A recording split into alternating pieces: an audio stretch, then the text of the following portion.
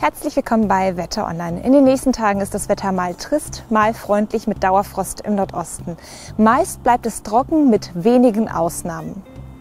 Am Mittwoch sieht der Himmel oft grau aus. Am ehesten zeigt sich die Sonne von der Nordsee bis nach Niederbayern. Meist bleibt es trocken. Ein paar Schneeflocken sind anfangs etwa südlich der Donau und vielleicht auch ganz im Westen nicht ausgeschlossen.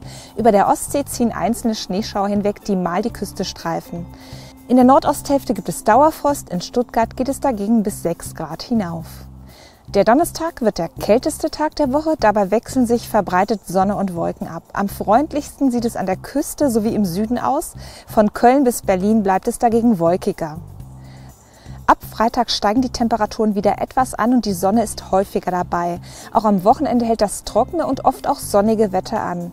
Unsicher ist vor allem der Samstag, wenn ein Höhentief vielleicht doch etwas Regen bringt.